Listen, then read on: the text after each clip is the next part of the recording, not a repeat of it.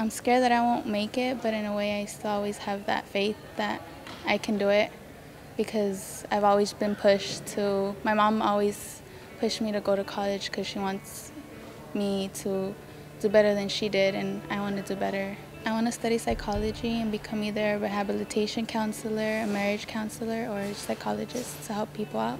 When I grow up and I have children, I want to be able to give them what they deserve and what I couldn't get when I was smaller. And I don't want to struggle in life.